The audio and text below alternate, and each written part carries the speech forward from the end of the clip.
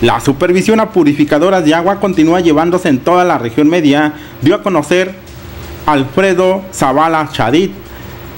mencionando que son alrededor de 75 purificadoras que existen en la región. Algunas de ellas se les ha suspendido su servicio por diferentes irregularidades. Sí, referente a lo de purificadores, fábricas de hielo, tenemos un censo, contamos con un censo aquí en la coordinación de 75 purificadoras y 7 fábricas de hielo aproximadamente, de las cuales se les da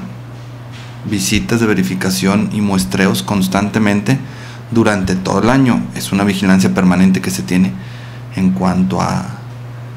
a las purificadoras y, y, se intensifica un poco más cuando es temporada de cuaresma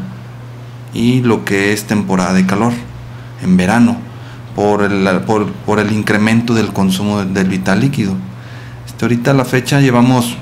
suspensiones, de hecho en esta semana se suspendió una purificadora por no cumplir con los lineamientos y las normas oficiales que nos marcan, por resultados fuera de norma, que no era apto para el consumo, entonces por lo tanto se aplica una medida de suspensión, es suspensión total temporal, únicamente, no clausura, no se llega a clausura, solamente se le suspende y hasta que corrija ya se vuelve a liberar. Recomendó a la población a no comprar agua patito, es decir, el garrafón debe de estar completamente sellado y traer la descripción del nombre de la purificadora. Por supuesto, estamos para servirles aquí en la jurisdicción. Una, medida preventiva y recomendatoria para todos los, los consumidores de este vital líquido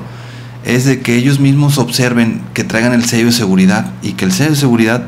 tenga el nombre de la purificadora. O sea, si lo